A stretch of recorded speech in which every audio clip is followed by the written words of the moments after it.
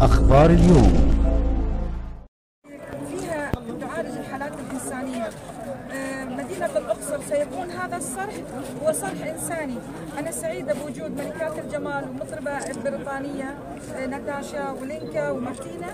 آه، حبينا نكون موجودين هنا لدعم هذا الصرح الإنساني. أنا أشكر كل أخواني الموجودين المصريين السواعد السمراء. لولا هؤلاء العمال لن ينبني هذا المستشفى. سواعدكم أنا أشكر كل شخص بنى طوبة وحدة في هذه المستشفى. وأنا سعيدة أني أكون في هذه الزيارة أن أقدم تبرع لو إنه بسيط لكن راح أقدم تبرع لهذا المستشفى الرائع. وأشكر دعوة إدارة المستشفى والقائم على والمهندسين على هذا العمل الصرح الكبير. أنا أشكرهم لدعوتنا في هذا اليوم اللي هو راح يكون في مهرجان نفرتيتي في المعبد. فأنا سعيدة جدا وخاصة أنا سفيرة نوايا حسنة.